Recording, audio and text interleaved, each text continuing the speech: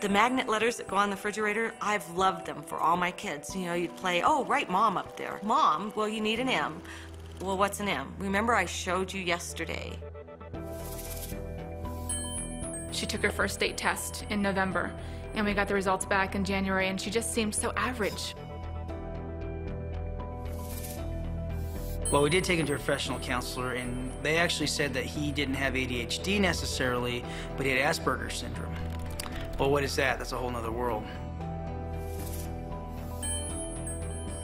We got the results back, and he's like, not only does this kid have ADHD, but he has ODD. I cried for two days.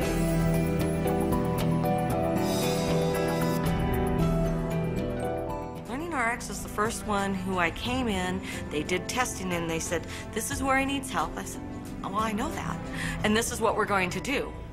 Well, that's cool. No one else ever said, and this is what we're going to do. It's a huge relief to realize that there's a legitimate answer. I think they give up and just think that it's all a motivation problem or just a bad attitude, not liking school. And so it really relieves the burden for the child and the parents to see there's truly something going on. The brain is just like a computer, a whole conglomeration of systems and networks that go, we call them synapses.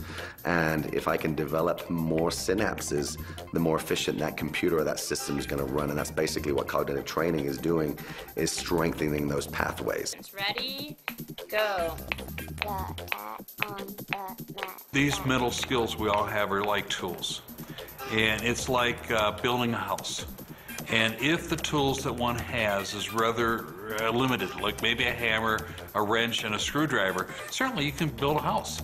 Uh, you might have to use a screwdriver to chop the wood, and it's not going to look very good. It's going to take a long time. It's going to demand a lot of energy, but you probably can do it. But imagine the advantages you have when these tools are a whole lot better.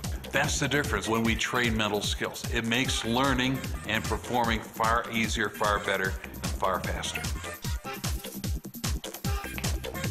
Tutoring is a band-aid, and it just covers up the issue. If you're not functioning well below the surface, then it's just not going to change what's going on. Everybody's brain can be better. There's no top to who wants to have a better brain. We've worked with three autistic children that frankly I was afraid to promise them anything, and they're completely different people after coming through the program. We've worked with adults that have come to us with focus and attention, ADD, being on adult medicine, and everywhere in between, college students that are tired of paying for the same class over and over because they just can't get it. So I don't think that there is just one market that we fit into. We truly can work with anybody and improve them. Well, first I thought it was weird because it's a whole bunch of little triangles and stuff that you move around and put in shapes and you're saying numbers and stuff. But um, it really helped a lot.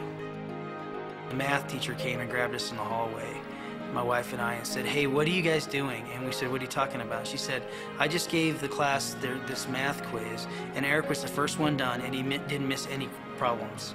She said, you guys are doing something because there's all of a sudden a big change. What are you doing? And so we told her about LearningRx. She said, I can't believe the change. Um, sing, spell, read, and write. We did 100 days to teach a child to read. We did a one-on-one -on -one tutoring. We hired his resource teacher after hours also to work with him. And we just have never made the progress we've made with this. It excites me. I mean, it really excites me to know that there seriously is hope. It might sound cheesy, but it's like from a mom's standpoint, there was hope for my daughter to get out of this victim mode, which is so big in her life, and it was taking over everything. And now she has a different perspective.